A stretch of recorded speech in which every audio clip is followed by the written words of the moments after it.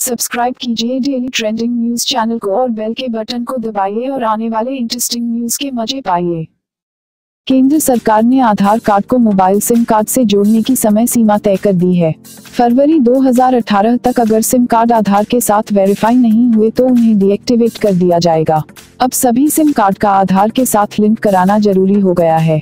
इस साल फरवरी में सुप्रीम कोर्ट ने केंद्र सरकार को आदेश दिया था कि वह एक साल के अंदर सभी मोबाइल टेलीफोन उपभोक्ताओं की पहचान करें। इसके लिए कोर्ट ने कहा था कि उपभोक्ताओं के सत्यापन के लिए के लिए सिम कार्ड को उनके आधार से लिंक कर दिया जाए। सुप्रीम कोर्ट ने फरवरी 2017 में ये आदेश लोकनीति फाउंडेशन एनजीओ द्वारा दायर एक जनहित याचिका पर सुनवाई के दौरान दिया था। बता दें कि सुप्रीम कोर्ट में सुनवाई के दौरान सीजेआई खेहर ने कहा था कि मोबाइल सिम कार्ड रखने वालों की पहचान होना ज़रूरी है। ऐसा न होने पर यह धोखाधड़ी से रुपये निकालने के काम में इस्तेमाल हो सकता है। डेली ट्रेंडिंग न्यूज़ की रिपोर्ट। सब्सक्राइब करें हमारा चैनल ऐसे ही लेटेस्ट और इंटरेस्टिंग न्यूज़ के लिए।